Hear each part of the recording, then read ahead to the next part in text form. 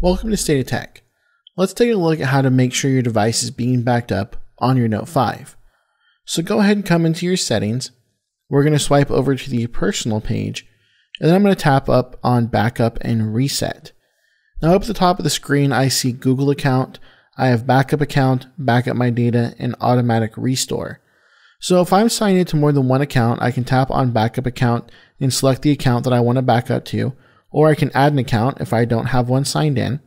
This is going to be me signing into a Google account, so you're going to have to use your Google account to make sure that you're backed up. Now, what I can now do that I'm signing in with my Google account is make sure that my application data, Wi Fi passwords, and other settings to my Google servers are being backed up, and then I can automatically restore. So if I ever have to restore my device, or if I say we're to get a new device, so next year when the Note 6 comes out, if I were to get that one, I can make sure that all of my settings and everything that I did on my Note 5 will be transferred over to the Note 6. So I can choose automatic restore.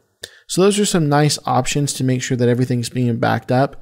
And then there's some more advanced ones like you want to make sure that you're using, I would say, Google Photos here to make sure that all of your photos on your device are being backed up. So you see every photo that I take on this device will automatically be uploaded to Google Photos. You can use Dropbox. There are plenty of other applications to make sure some other specific content are being backed up, such as photos. But for the most part, your phone settings and everything that makes the phone unique to you will be backed up with the Google servers. So that's how you back up your Note 5. And for more Note 5 tips, be sure and visit stateoftech.net.